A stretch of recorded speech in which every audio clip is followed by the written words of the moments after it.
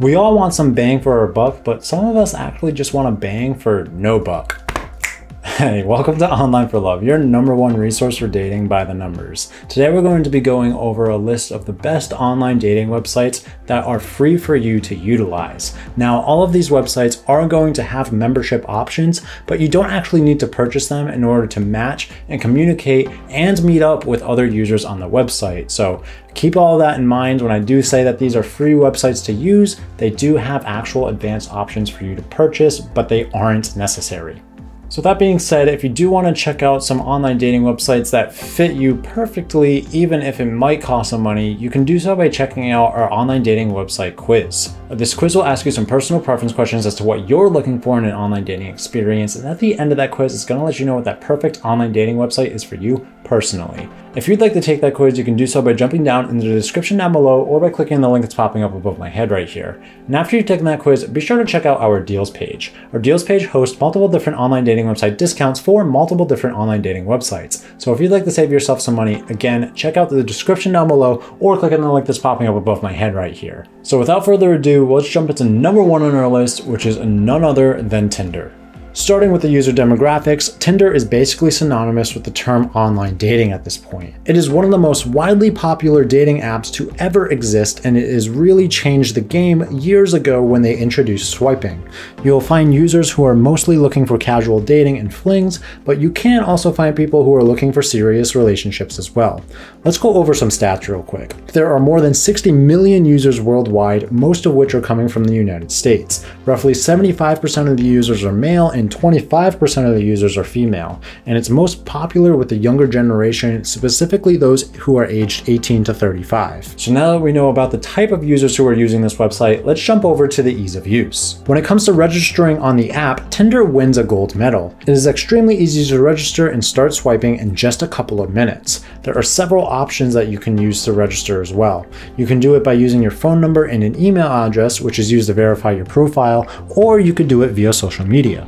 After that, you'll be asked to share your name, date of birth, gender, and add some photos to finish up the sign up process. After you've picked the desired way to register and verified your profile, you're free to start swiping and looking for a perfect match. Swiping, in case you don't know, means to swipe left to pass on somebody and swipe right to like somebody. When two users swipe right on each other or like each other, then you've found yourself a match. From there, you'll be able to freely message each other without having to sign up for any membership. Outside of that experience, though, you can give yourself a little bit better of an experience by buying a membership, which will allow you to see all the people who have swiped right or liked you, be able to boost your profile, be able to be seen sooner by your matches first, and more. So this is going to move me onto number two on my list, but before I jumped into that, I did want to ask you guys to be sure you are hitting like and subscribe. Seriously, it really does help us out with that YouTube algorithm, and it pushes our videos out so that more viewers can get more information from us here at Online for Love. We super duper appreciate it. So this is going to move me onto number two on my list, which is Bumble.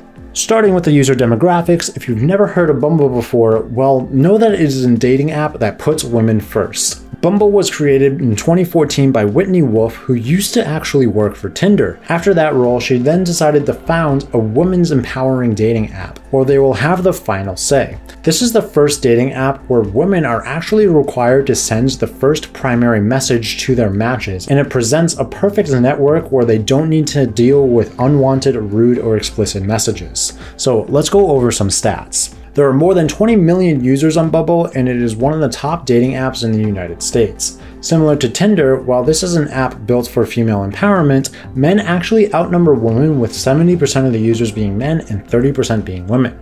The majority of users are between the ages of 25 and 34, and then 35 to 44 years old, which makes this app perfect for over 30 dating. So now that we know the type of users who are using Bumble, let's go into the ease of use. The initial process of signing up is very easy since once the app is downloaded, all of the necessary information such as your name, age, education, and so on is most often pulled from your Facebook account. In case you don't actually wish to use your Facebook account though, you can add a phone number instead and input the confirmation code that you receive. After that, you can add up the six paragraphs of yourself and let other people know what you and your lifestyle are like. Besides connecting your Facebook account, you can also link your Instagram account. However, that can become a bit tricky since the Bumble app shows 24 of your most recent photos on Instagram and you can't control which ones those are, so please be sure to have presentable photos on there or don't link your account at all. The next part of your Bumble identity is the About Me section, which lets you add 300 characters. That may sound like a lot, however, it's only a couple of lengthy sentences, so be sure to think about what message you want to send about yourself. Another helpful feature is the search criteria. You can set this up in case you are in a real pursuit of your other half. Other than that, Bumble works similarly to Tinder. However, when a match is made, the female half of that match must be the one to send the initial message, and she'll only have 24 hours to do so. Once she sends that first initial message, her match will then have 24 hours to reply. Once they do, the two users are then free to communicate on the app with no deadlines or limits. Outside of that as well, Bumble does also have two other sections of their app that are not related to dating, and that's called Bumble BFF and Bumble Biz. So if you want a network to find business partners, you can use Bumble Biz, and if you are just looking for platonic friendships, then you can use Bumble BFF. So while this is a list of online dating websites that are free for you to use, you may want to purchase some of these memberships along the way. And if you did want to do that, a really smart thing to do first would be to check out our online dating website deals page. This deals page hosts multiple different online dating website discounts for multiple different online dating websites. So if you'd like to save yourself some money, who the heck doesn't? Be sure to check out our deals page. So this is going to move me onto number three on my list, which is OKCupid. Starting with the user demographics, OKCupid is certainly a dating app that one would call inclusive. With an extensive amount of gender options, an algorithm that makes matches based off of answering 4,500 plus optional personality questions, and options for being in a monogamous or non-monogamous dating structures, there's really something for everybody here. This is especially so if you are looking for other users who are like-minded to you. So let's go over some stats real quick. It is an international dating app with over 50 million users, and most of the users come from the United States. Out of all of its members, 65% are men and only 35% are women. The largest age group that is active on this website are those who are aged 25 to 34 years old. So now that we know the type of users who are on this website, let's go over the ease of use. If you've never used OkCupid before, let's talk a little bit more about registering your profile. One of the best things about OkCupid is its matchmaking algorithm. This is driven by a very in-depth questionnaire that you have to fill in as part of the registration process. And while it does take a lot of time, it's useful in helping you match up with the right people. It's also something that you can return to once you have your profile set up.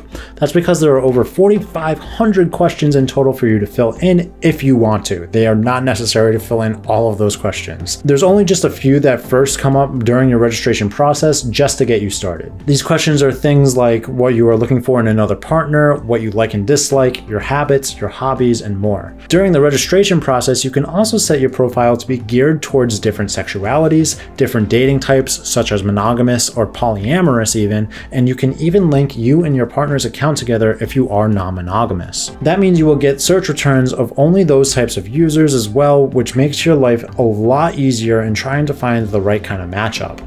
The other excellent thing about OkCupid is that it allows for all types of users from sexuality to their gender, including all sorts of LGBTQ plus options. And as far as messaging people goes, well, you'll have to like them first, and then they'll have to like you back, and then you are free to message between each other for completely free.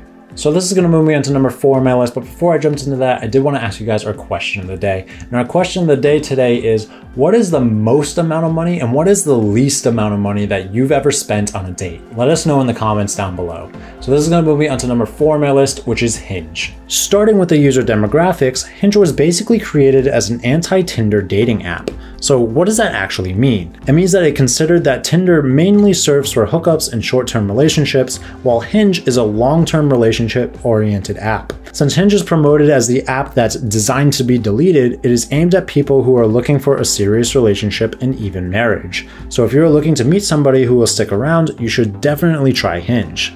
Let's go over some stats real quick.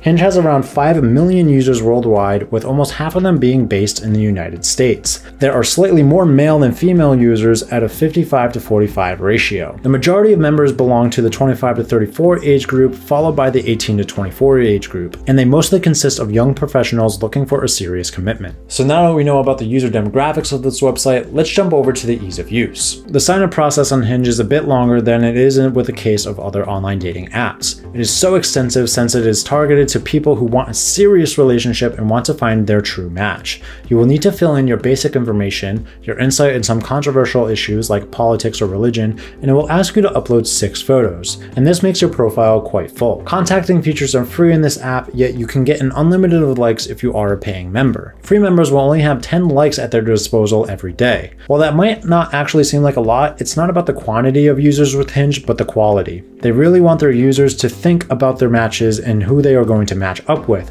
so making these decisions a little bit more restricted causes users to do just that and you can make those tough decisions, hopefully find your one, and message them all without having to pay a single penny. So if you guys still don't think that this list is going to give you the perfect online dating website, no worries, I got a great solution for you. That's by taking our online dating website quiz. This quiz is going to ask you some personal preference questions as to what you're looking for in an online dating experience. And at the end of that quiz, it's going to let you know what the perfect online dating website is for you personally. Now, after you've taken that quiz, be sure to check out our deals page. Our deals page hosts multiple different online dating website discounts for multiple different online dating websites. So if you'd like to save yourself some money, who the heck doesn't, be sure to check out our deals page. Now with that being said, if you guys want to see some more content from us, be sure to check out the videos popping up on my left and right here. And I did want to ask you guys again our question of the day, which was what is the most amount of money and the least amount of money that you have spent on a date before? Let me know in the comments down below. That being said, be sure you guys leave a like and subscribe, and I'll catch you guys here next time on Online for Love. See ya!